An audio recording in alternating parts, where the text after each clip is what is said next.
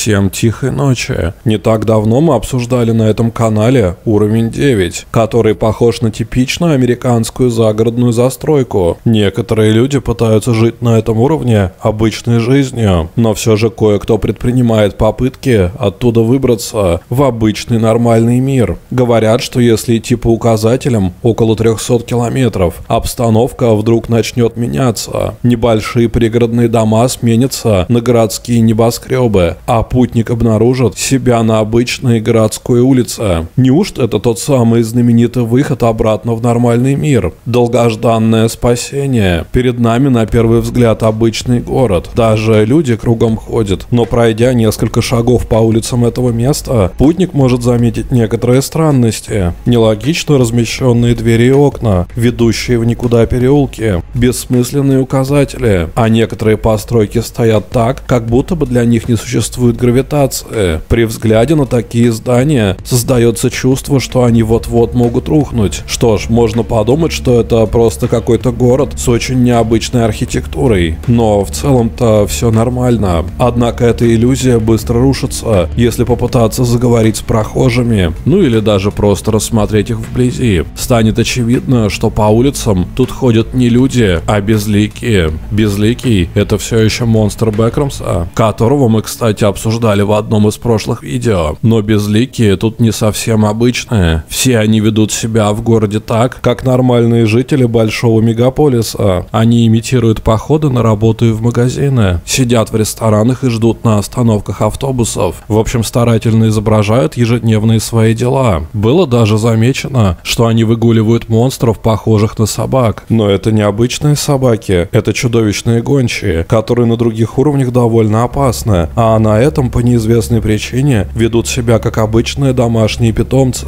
Короче говоря, это и есть одиннадцатый уровень закулисья, и его особенность в том, что если сильно не всматриваться в происходящее, путник может действительно подумать, что он выбрался из Бэкрумса в реальность, или же при желании он может себя в этом убедить и попытаться здесь жить так, как будто все нормально. И таких путников на этом уровне достаточно много, так что встретить тут обычного человека вполне возможно. Некоторые из них пытаются создать для себя подобие обычной жизни. Находят себе жилье, ходят на работу, пытаются даже общаться с местными безликими. Есть и те, кто поддерживает работу местных магазинов, ресторанов и других заведений. Есть тут и целая радиостанция, где работают настоящие люди. Можно найти почтовую службу и даже организацию, которая пытается уничтожить монстров на этом уровне. Они ходят в деловых костюмах и ставят своей задачей поддержание иллюзии нормальности нормальности этого места, чтобы местные обитатели могли жить в относительно обычном мире. Да, похоже на некоторую пародию на фонд SCP.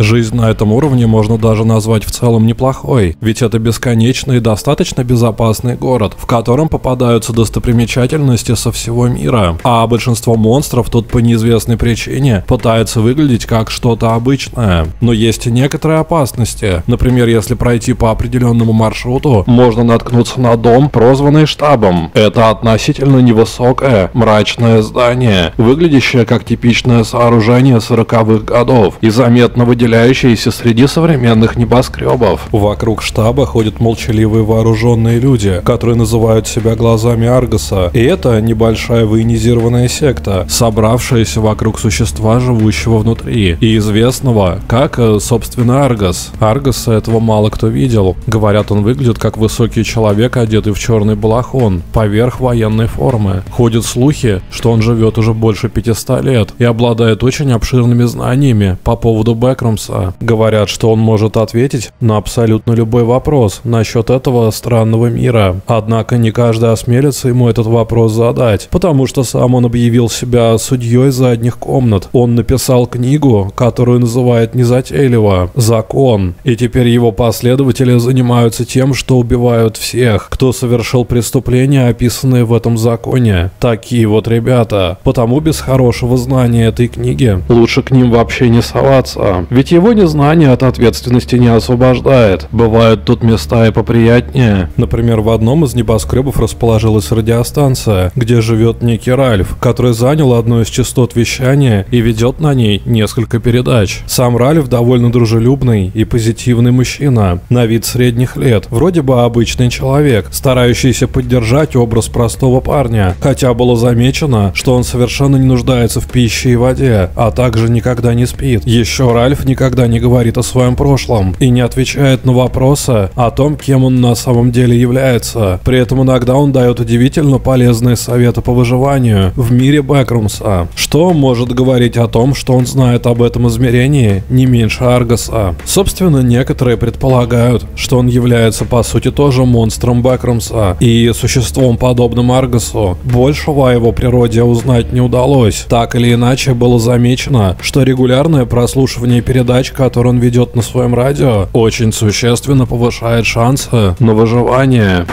Но все же, если человек, который пришел сюда, оказался недоволен обманом и решит выбраться, если достаточно долго ходить по городу в поисках выхода, можно наткнуться на группу деревьев, в которые можно как бы провалиться сквозь них. И если это сделать, человек внезапно обнаружит, что здания 11 уровня остались далеко позади, а сам он в лесу, где листья на деревьях красного цвета. Если пойти в сторону видимых на горизонте высоток, то человек рано или поздно просто вернется на 11 15 уровень. А вот что происходит с теми, кто начинает блуждать по лесу, толком неизвестно. Может потому, что они и правда возвращаются в обычную реальность, а может просто не выживают. Из тех обрывочных сведений, что каким-то образом попали в базу данных Backrooms, стало понятно, что среди деревьев скрывается множество опасностей. Про эти опасности известно мало что. Ходят слухи о каком-то существе, похожем на змею, но никто из тех, кто выжил, не видел его вблизи так что, кроме всего, оно крайне опасно. Еще ходят слухи о радиоактивности местных деревьев и о том, что если зайти слишком далеко, дышать становится невозможно. В общем, заходить в это странное место не стоит. Еще на 11 уровне можно встретить необычное окно, за которым совершенно белое помещение. Интересно, что заснять его содержимое не получается, потому что на записи появляются помехи и подобие настроечной таблицы таблице. Поначалу считалось, что внутри есть только стол и стул, а также плотно закрытая дверь, которую считали лишь декорацией. Но как-то раз один из странников догадался подойти ближе к белой стене и обнаружил, что ее в общем-то нет и идти в белую пустоту можно бесконечно. А само это место можно считать отдельным уровнем, номер которого 12. Единственная проблема, что чем больше продвигаешься в это белое нечто, тем больше начинаешь страдать от амнезии. Что происходит с теми, кто уходит в белую пустоту, неизвестно. Из тех, кто ушел слишком далеко, не вернулся никто. Может быть, там выход, а может быть и нет. В любом случае, те, кто не отдалился от стола и стула, смогли узнать, что в этом месте существует некоторый правильный порядок действий, который заставляет дверь в стене открыться, а за ней будет один из нескольких возможных уровней, три из которых ближе к началу закулисья, а четыре дальше. Такой вот он одиннадцатый уровень. Очередной уровень, дающий ложную надежду на спасение, но не дающий его. Всем пока.